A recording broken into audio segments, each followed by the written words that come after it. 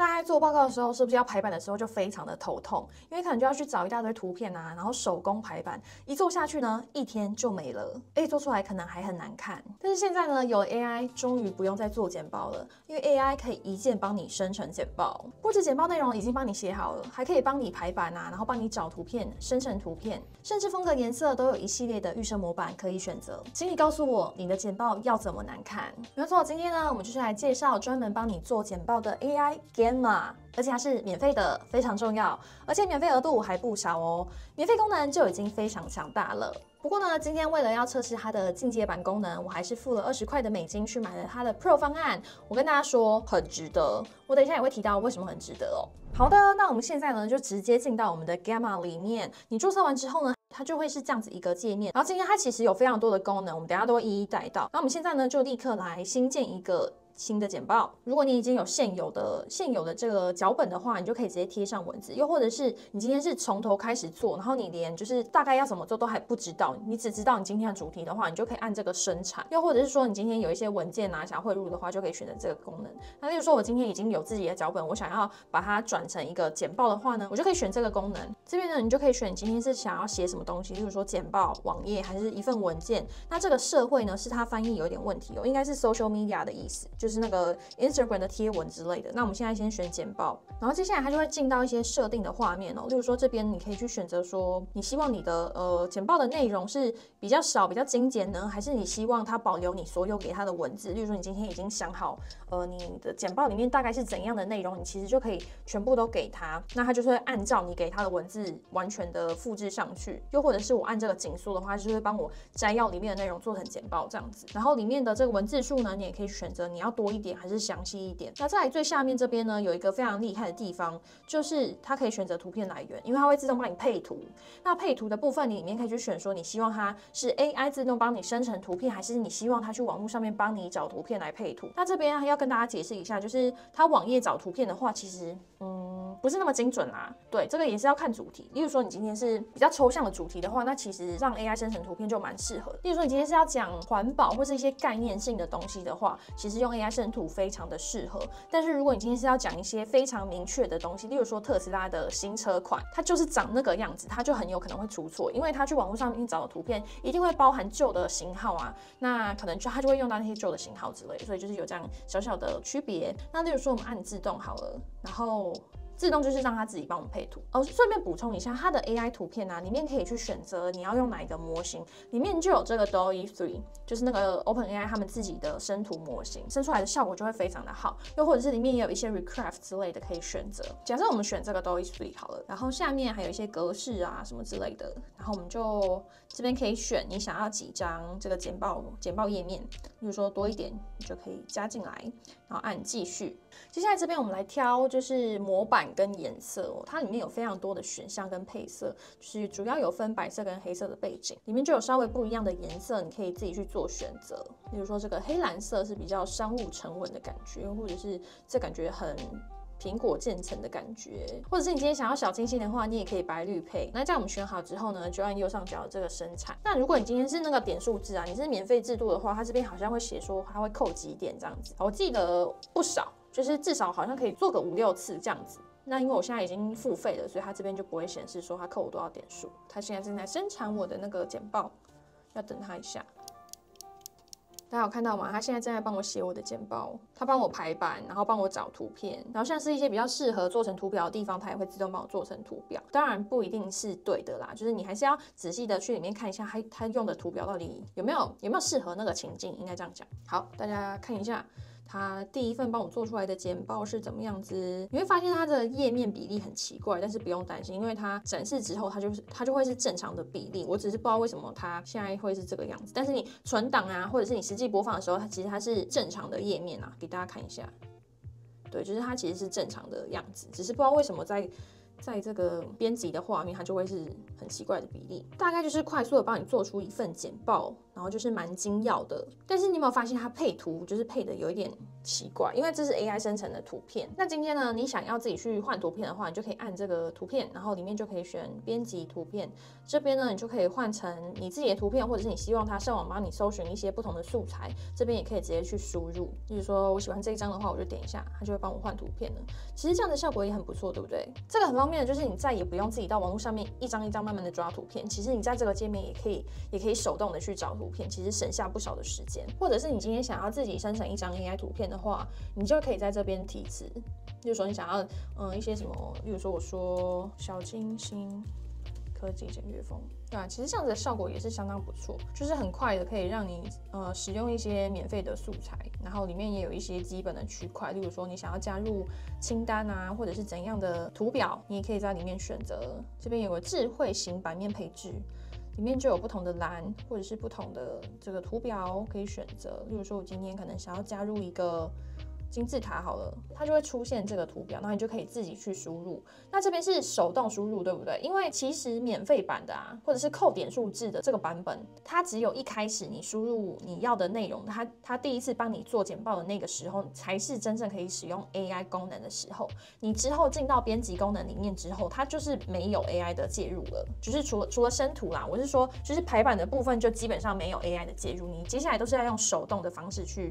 去更新。那为什么我刚才说，就是我买的那个 Pro 方案，我觉得很值得。原因就在这里，就是因为你今天要使用 AI 来编辑你里面的内容，你必须要把它升级到 Pro 方案。它里面总共有两个升级版，呃，第一个是 Plus，然后第二个是 Pro。然后 Plus 的话，它只是点数比较多，但是里面里面的功能基本上是一样的。只有美金二十块一个月方案，它才可以使用 AI 来进行里面的一些一些修改。我跟大家说，这这真的很强。为什么我说很强？我们直接来看一下这个案例哦，来给大家示范。一下 Pro 的能力哦，就是今天我做完这份简报，一模一样的主题，然后我一样觉得它的这个图片配的非常的奇怪，那我就可以按这个 AI 的符号，然后我就直接要求它帮我换所有的图片，没有错，是所有，它可以一次全部换。例如说，我这边请它帮我把图片改成简约插画风，然后我输入进去，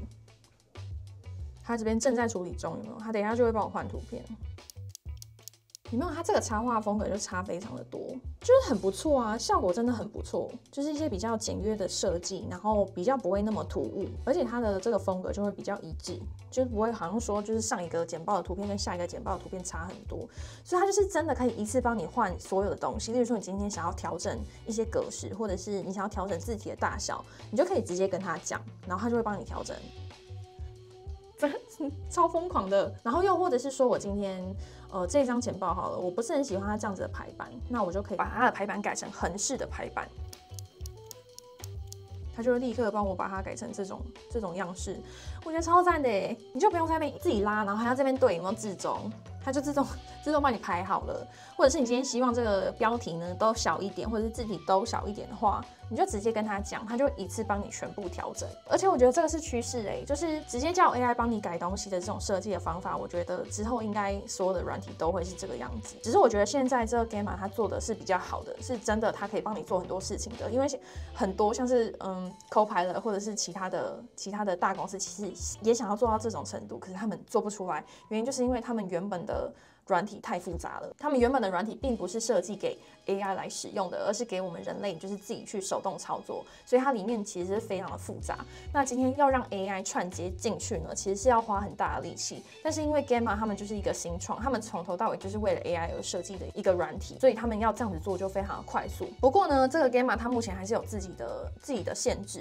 例如说它的设计是不能调太精细的。例如说刚刚我不是调整了这个方块吗？我今天如果想要让它的方块变成横式的话是没有办法，就是这个这个模式它是没有办法变成一个有底色的方块，所以它的设计是比较固定，然后比较单一的，它没有办法做到非常细致的调整。那它里面呢一些基本的 AI 功能当然全部都有，例如说你希望它口语上怎么调整，或者是它在呃简报里面表达的方式要怎么样调整，它里面都是可以直接去跟他讲的，就是你可以用非常白话文的方式要求这 AI 帮你如何调整这个简报啊。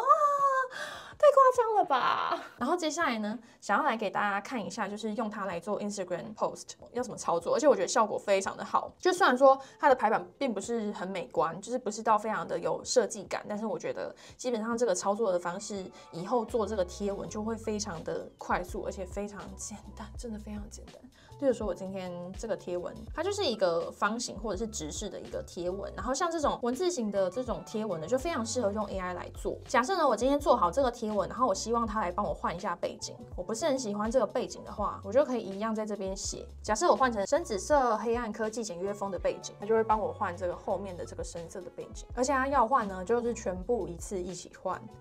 我觉得这个超赞的当然你要单张单张换，你就是直接在这个简报的左上角这边有一个自己单独的 AI，你就可以直接在这边这边选择。但是如果你今天要全部一起换的话，就可以在右上角这边。然后大家看，它就是帮我设计了一些比较简约风格的背景，其实非常适合，就是 AI 生成图片很适合用来做这种简报的背景，因为其实不太有人会去仔细看你的背景到底是什么。然后只要不要太突兀，其实。效果就会非常的好，尤其是一些非常简约的线条，这样出来就会很不错。然后我今天就是把我写好的文章直接丢给他，他就可以帮我整理出这样子一个 Instagram 的贴文。然后像是这样子重点的列表都是他自己列的，然后又或者是怎样的重点呢，他就会帮你整理好。然后你也可以去选择说你自己想要这个字非常的少，因为现在 Instagram 流行就是字少，因为大家就是没有办法专注嘛，所以字少的话呢，它就可以帮你写出这样子一篇非常简单的贴文。那当然呢，跟刚才说的一样，就是它其实没有办法调到非常细哦，就是例如说你今天想要调整这个文字方块多大多小是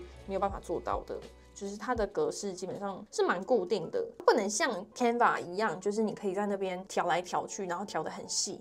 它基本上就是一个一个方块一个方块，然后一个图表一个图表这样子的一个方式，然后你不能调旁边留白的空格，就它这边是没有办法调整的，因为它主要就是要方便给 AI 来实际操作里面的东西，所以它设计没有办法到那么的精细。当然这些东西以后可能都会在进步吧，我觉得。而且我觉得 Gamma 它这里面的功能是真的非常的完善。例如说，大家看这边图表啊，这边全部都有。而且这些东西是你买了 Pro 之后，它可以自动帮你生成的。例如说，你今天有一些数字，假设这边呢，我有一个是六十趴对三十趴的这一句话，我就可以直接叫它帮我做成一个图表，